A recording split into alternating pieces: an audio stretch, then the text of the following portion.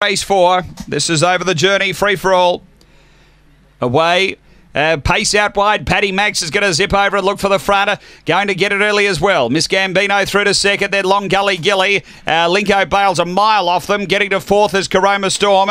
Then Alan Mondo and Linko Bale back last. So they've got a lap to run. And it's Paddy Max in front, but Long Gully Gilly poised beautifully. Miss Gambino tucked underneath it. Uh, three away then Caroma Storm as Long Gully Gilly racing up down the back, but uh, not being able to zip away from them. Behind those, Linko Bale closing. And then Alan Mondo down the back. It's Long Gully Gilly. Uh, they're getting jammed up here around the outside. Caroma Storm, Linko Bales railing up. Miss Gambino still there. Caroma Storm runs to the lead. It's clear of Miss Gambino. Uh, late is Long Gully Gilly, uh, but Caroma Storm beats Long Gully Gilly, Alan Mondo and Linko Bale. Then Miss Gambino. And back at the tail is Paddy Max. The run here is around 43 and 90. Uh, well, uh, number eight, the winner, Caroma Storm at $22. Uh, Gino Grigorovich, a black dog, June 2013, Magic Sprite, Thundering Speed.